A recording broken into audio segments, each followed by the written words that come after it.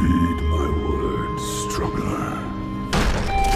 It takes a strong man to deny what's in front of his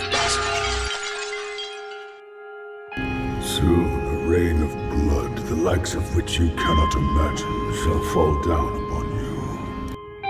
It hurts, doesn't it? What can't you face? I really wanted to see you again. What's the last step?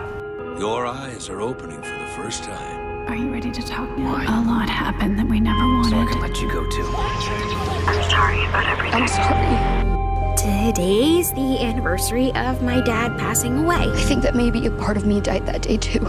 I'm sorry. If you can even hear this, so, so sorry. And then we'd visit his grave, and me and my mom would spend the day together. But I had to tell you. I still don't know what to say. Reasons you hide from I know what I should have said. And I'm sorry. I wasn't there. I'm still here. I just didn't work hard I think I just realized something.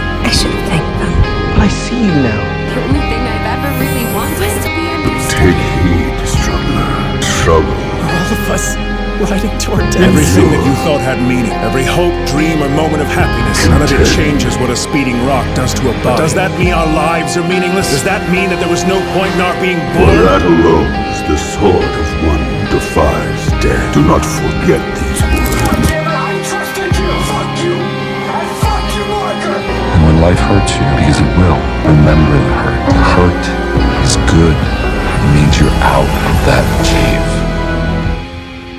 Life is full of pain, Isn't it funny how a memory can feel like a whole different reality? but there is also love and beauty. People, places, even sounds and colors can change. Be grateful that for the first time Or someone else has changed them. you see your life clearly.